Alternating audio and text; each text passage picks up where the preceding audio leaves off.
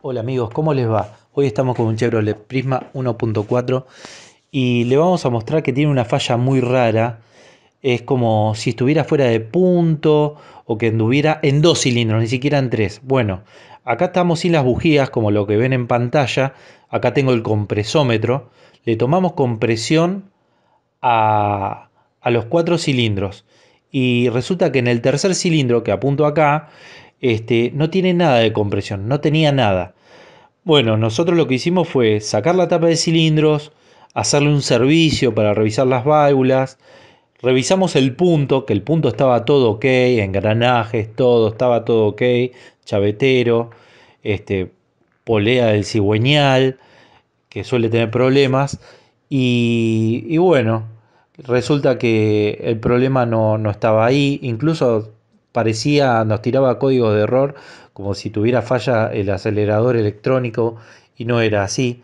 Bueno, acá le estamos mostrando la leva. Esta es una leva maciza nueva que hemos colocado, pa, maciza o, o de fundición, como quieran llamarle, porque el problema estaba acá.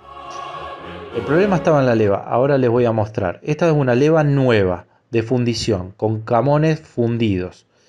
Y y no vamos a tener ningún tipo de problema. Ahí estamos viendo los camones, quiero que lo vean bien y les voy a mostrar la leva original. Esta es la leva original, es, de caño, tiene los camones que son colocados en caliente, fabricados en caliente. Bueno, ahí tiene el sensor que tiene sensor de árbol de leva. Ven que tiene los camones bien cruzados. Y fíjense en el tercer cilindro, fíjense acá la leva. ¿Vieron? Bueno, acá está el defecto los camones se giraron. Hay un problema con este tipo de levas que se pueden llegar a girar los camones. ¿Y qué pasaba? Dejaba las dos válvulas abiertas, por eso no teníamos compresión. Por eso tomamos con, eh, compresión y no teníamos nada. Este, es un defecto que, que tienen estos vehículos que se, o este tipo de levas que se suele girar los camones. En este caso nos dimos cuenta porque es muy excesivo lo que se giró. Entonces, a simple vista, eh, uno se lo puede percibir que hay un defecto en la leva. Porque todos eh, eh, los camones tienen que estar apuntando de un lado y para el otro. Ahora les voy a mostrar bien cómo, cómo tiene que quedar.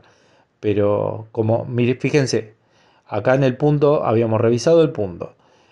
habíamos revisado el catalizador andaba como en dos cilindros, ni siquiera en tres. Revisamos hasta el cuerpo de aceleración y tenía una falla, ni siquiera que andaba, andaba en tres cilindros.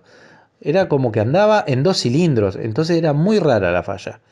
Por eso, viste, le estoy mostrando este, este video, le estoy haciendo este video para que si les toca una falla rara, que presten atención al árbol de levas. Fíjense cómo tiene que quedar apuntando para cada lado del camón, los camones y estos estaban totalmente juntos, entonces obviamente no hacía el tiempo ni la compresión como tiene que hacer.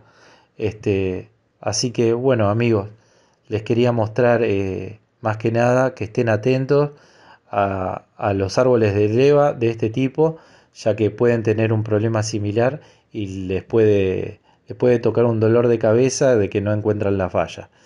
Este, bueno, espero que les sirva de ayuda. Les mando un fuerte abrazo y no olviden suscribirse a mi canal.